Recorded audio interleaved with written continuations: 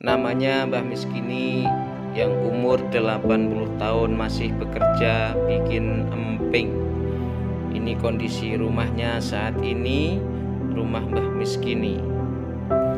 Dan sekarang relawan Cinta Yatim Indonesia sedang menuju ke rumah Mbah Miskini memberikan titipan dari para donatur berupa beras, sembako, dan uang tunai.